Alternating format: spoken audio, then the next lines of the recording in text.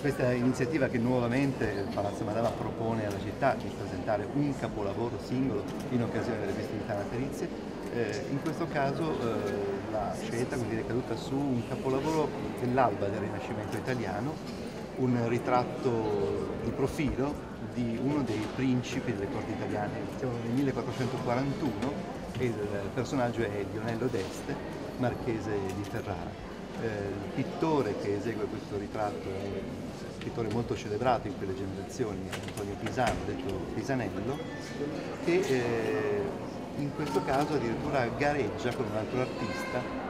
proprio nella realizzazione di un ritratto eh, del marchese di Ferrara. Pisanello poi lavorerà per diverse altre corti italiane, lavorerà anche per il papato a Roma, ci sono suoi rapporti con Milano, con Mantova soprattutto ed è un artista eh, molto apprezzato e molto celebrato anche dai letterati contemporanei che spesso parlano della sua abilità del riprodurre il dato di natura nei suoi dipinti, nei suoi disegni che sono anche molto raffinati, molto, molto noti, molto ben conservati. Un'altra opera che si aggiunge a quelle, a quelle, già esposte, siamo anche contenti che si tratti di un ritratto perché questo è un po' l'anno in cui abbiamo cercato di fare un percorso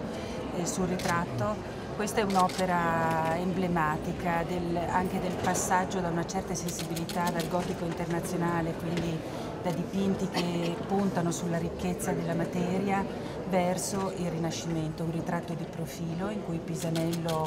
eh, riecheggia lo studio delle monete antiche e quindi attraverso l'antico eh, si arriva alla rappresentazione dell'uomo com'è e dov'è, ecco, quindi è anche un utile paio con il grande ritratto di Antonello da Messina che è nel museo, quindi speriamo che i visitatori